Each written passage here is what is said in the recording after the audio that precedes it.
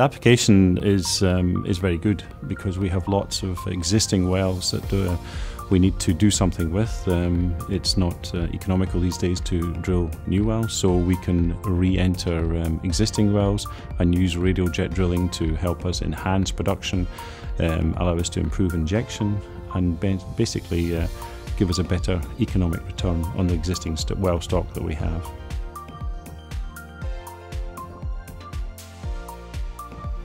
I think collaborating with DHRTC allows us to get perspective from outside of our own comfort zone. So we're working with institutions, we're working with the university, um, collaborating together, and that allows us to access or tap into different ideas, different viewpoints. Um, they don't have um, the same vision of it that we do, and so therefore they can see it from a different perspective.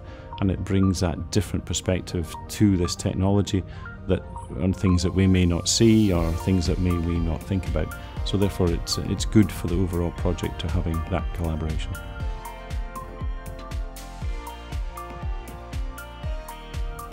The workshop's been good. It's uh, good to see um, all the people from different backgrounds and institutions and companies coming together to talk about this subject today.